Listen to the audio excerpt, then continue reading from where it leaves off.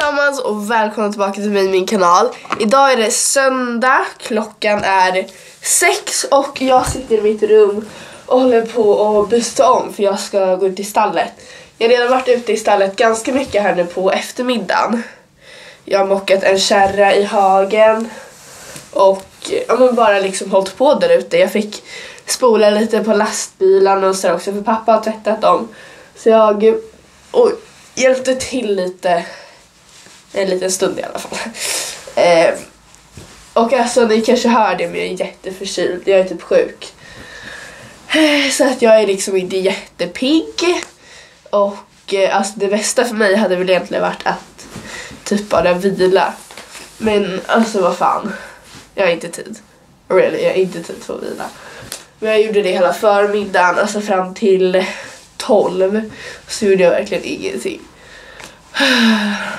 Så jag kände det efter att jag hade varit ute och mockat. Då bara satte jag mig där ute och så bara, åh oh, gud, kommer somna.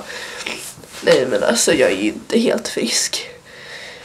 Men eh, hästarna måste tas om hand, stallet måste fixas, Nalle ska ridas.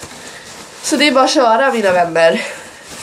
Jag rekommenderar ingen att köra på när man är sjuk men fan. Jag gör det. Jag går emot vad jag själv säger. Men eh, nu ska vi se, måste tänka. Ja, inget i stallet är fixat. Um, så hela stallet ska faktiskt fixas. Vatten fyllde mamma testade i morse ute i hagen. Jag tänker lite för mig själv nu bara. Men vi kanske ska ses ute i stallet eh, istället för att nu ska jag bara gå ut. Hello! Det här är ju roligaste, förlåt tvättmaskinen låter lite här nu. Men det här är mammas skor. Det här är mina skor. Ups.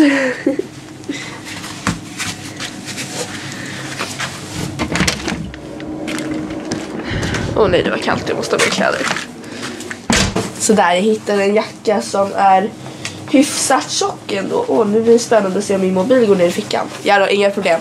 Eh, men imorgon, alltså måndag, när den här vloggen kommer upp så har det i och för sig redan hänt. Men vi ska till veterinären på återbesök med Morra. Så vi får hoppas att det går bra med henne. Det får vi verkligen hoppas. Men nu så ska jag gå och hämta... Eh, nej, fan vi måste mocka. Ja, vi får se vad som händer. Nu gjorde jag faktiskt att jag mockade till Nalle och la in en eh, spånbad till honom också. Pappa fixade vattenhinkarna och nu, nej nu försvann han ut bara för det. Men han håller på att fixa höpåsarna här.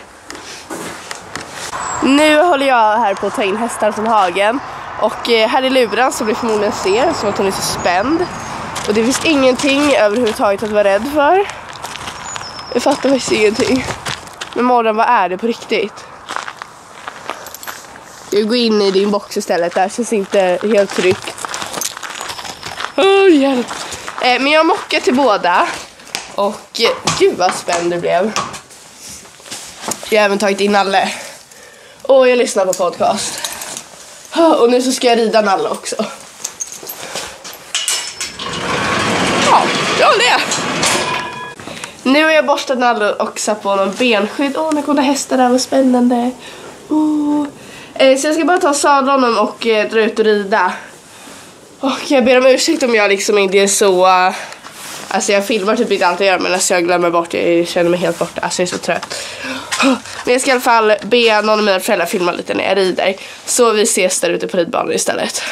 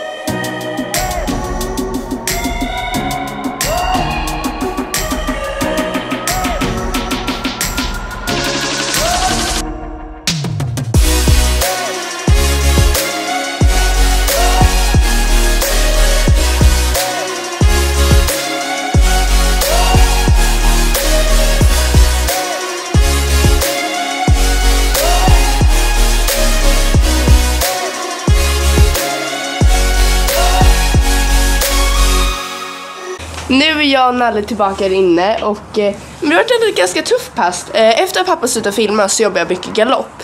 Först så jobbade jag liksom med en kort energisk galopp, att han liksom skulle vara med mig. Jag red mycket innanför spåret och sådär.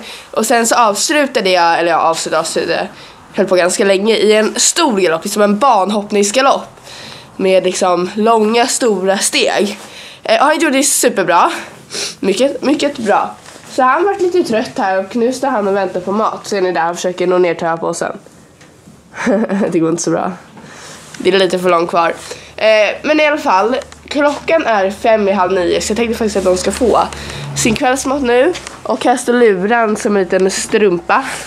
Som en stoppad korv. Hon hade faktiskt en fästing här under, ja, här under hakan. Vänta, vad, hade du någon mer fästing här nu? Så jag fick ta bort den. Hon hade liksom en ganska stor knöl efter den. Det gillar vi ju inte. Känna lite till på henne. Nej, det var bara lera. Eh, just det, jag fixade lite mer vatten till henne också för hon drack massor. Men nu tar vi och ger hästisarna mat. Så får vi se om vi hittar på något mer för att göra den här vloggen lite roligare. Sådär, nu har de mat och jag ska bara ta stänga till den här dörren. Jag ska stänga andra dörren också lite faktiskt för det ska vara ganska kallt i natt. Så de har ju dessutom tecken på sig.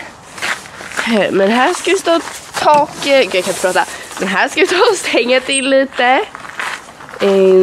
Så. Det. Och så släcker vi. Godnatt hästisar! Så nu är stallet faktiskt klart för dagen.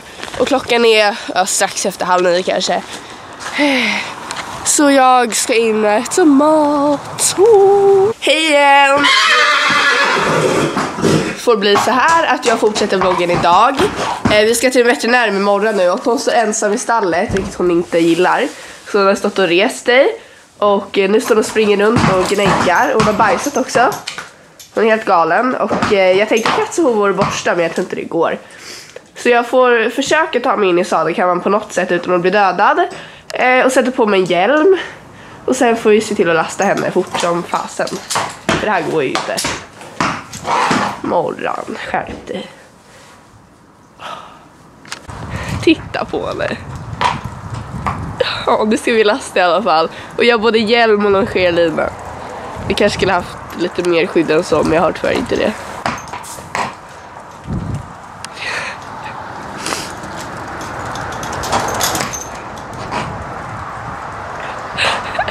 Morran!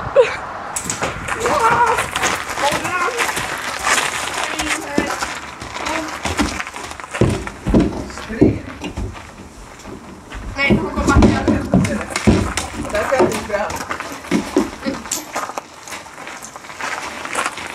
Jag har hämtat det. Nej, Du bara kan lossa, kan du det? nej, jag ska göra det. Efter morgon.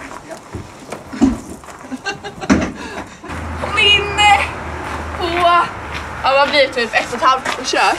Och det gick ändå ganska bra. Nu står ju hela bilen och gungar, men fan. Mamma går ner med Nalles här nu och eh, jag ska stänga här och så drar vi bara. Just det, jag kanske ska säga det också. Klockan är 20 över 12, halv ett någonting. Vänta, du kan klockan också. Det var faktiskt fem sekunder kvar. En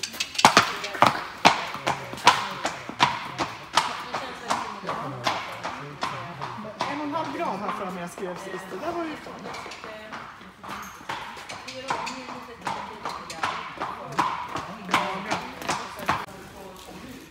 Det var bra att du hade hjälmen där. Ligist. Så hörru morgon.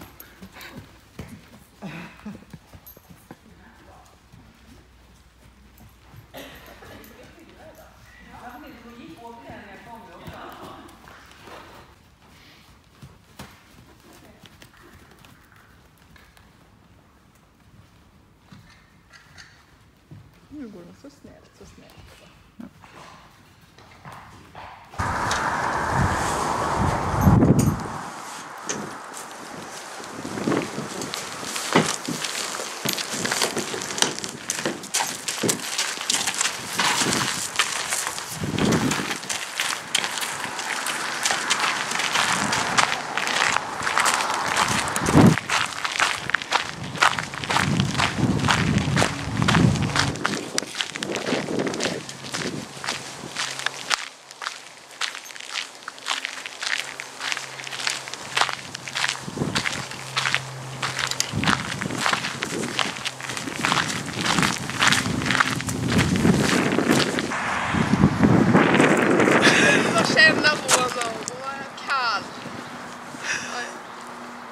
Inte nu längre. Jag, jag tyckte det kändes varmt. Nu springer han och håller igång.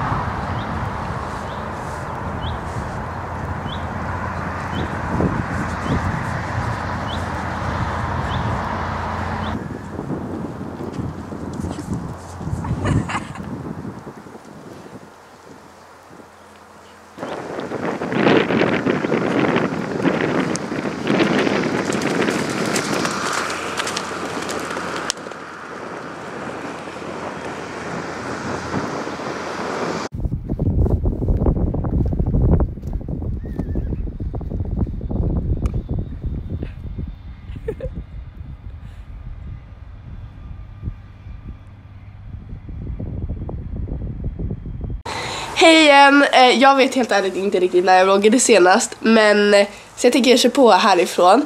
Eh, Klockan är 26, eh, vi är eh, ute i stallet och hästen har fått eh, fina Kentucky-grimmor.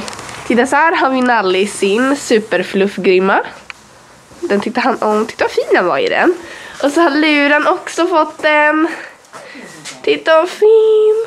Så de är glada. Och jag är även jätteglad för att luran var fin och fräsch. Eh, vi kom fram till det att det förmodligen bara är en vrickning. Så jag ska ge mig ut och rida henne nu och det kommer ju bli spännande. Med tanke på att hon har haft damp. Som både idag och igår och dagen innan det. När man ska ta in henne från hagen till exempel. Så det kommer bli spännande. Men eh, jag ska bara ta... Nalle kanske inte vill ha på sig den här grimman. Just det, de har stått inne. De kom in vid fyra idag för det började regna och blåsa. Så de fick äta mellis inne. Så de har varit nöjda med det. Mm. Eh, men ska vi ta av den här grimman och ska vi typ luran på gången och se om hon sköter sig. Och sen ska vi rida Nalle han kommer vara jättepigg. Huh. Nu står luren här på gången och hon är jättelugn och trevlig. Men däremot Nalle är skitspänd. Så de har bytt eh, lite roller här känner jag. Fast nu ser han snäll ut bara för att jag börjar filma. Nalle gör alltid till sig inför kameran så han ska se så snäll och duktig ut. Men egentligen så är han inte det. Nej jag skojar, det är duktig. Ja, han var jättespänd nyss i alla fall. Men luren sköter sig. Så mamma håller på och borstar och jag har borstat eh, man och eh, pannlugg. Den var väldigt eh, tovig idag. Ni vet den är så tjock så den blir lätt tovig den här. eh, och så har jag krassat tån också. eh, nej men den här den får man borsta tre gånger per dag. För att det blir lätt mycket problem med den. Som ni kanske kan se.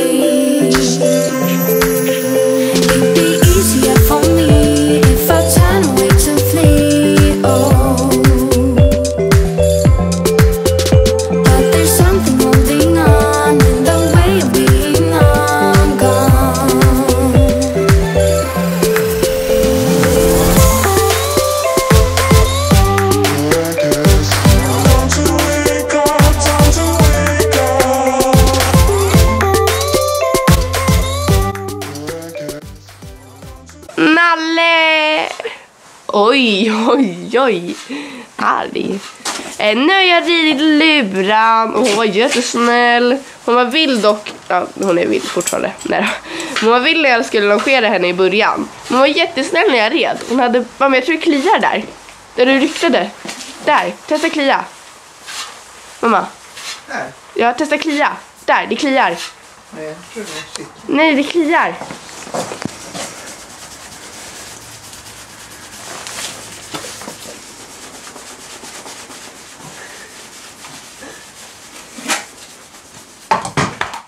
Nu är jag trött i armarna.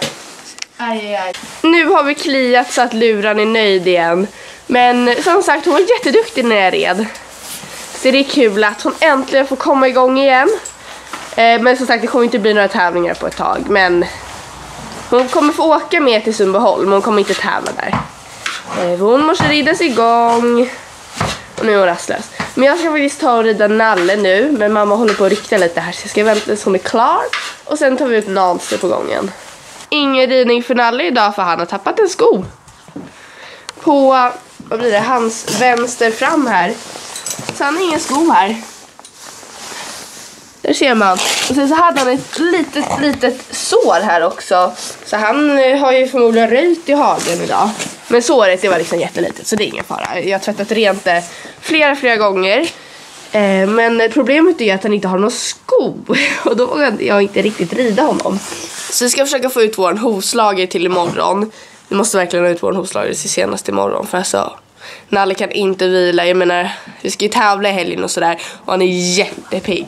Eh, men han är sadlad och eh, sådär. Jag höll på att sadla, mamma skulle kratsa hovarna. Eh, Men det gick ju inte jättebra det här då. Så då får han gå in i boxen igen. Ja. Och egentligen så absolut, man kan rida en häst om den har tappat en sko. Men Nalle är en väldigt känslig häst. Och därför kan, alltså därför är jag rädd att han kanske kan liksom reagera om man går utan sko. Och det vill vi verkligen inte riskera. Så att han får helt enkelt vila idag. Så jag tar av honom sadeln nu. Mamma gick ut i hagen och ska leta efter hans sko. Åh gud, varför går det alltid så dåligt för mig? Nu har vi varit ute och eh, letat efter Nalles sko och jag hittade den. Den eh, låg på ett av ställena där han har rejsat lite idag. Ja. Så att eh, det var i alla fall skönt att vi kunde hitta den och vi har precis gett dem kvällsmat här nu också. Så nu så ska vi gå in. Jag ska redigera den här videon. Jag ska äta. Och sova för imorgon är nationella. Eh, så nu tänkte jag faktiskt bara avsluta den här videon. Så tack så mycket för att ni tittat. Glöm inte att prenumerera så ses vi nästa. Hej då!